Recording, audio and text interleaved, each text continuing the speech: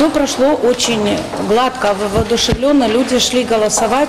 Как, они ждали этого события 30 лет. И э, явка достаточно высокая. Было очень много допол- э, ну, дополнительных в списках. со слезами, с радостью ждали этого момента, когда нас Россия возьмет к себе. Только все эти процессы сейчас пройдут э, юридического э, утверждения результатов референдума, после этого мы приступим к организации органов власти.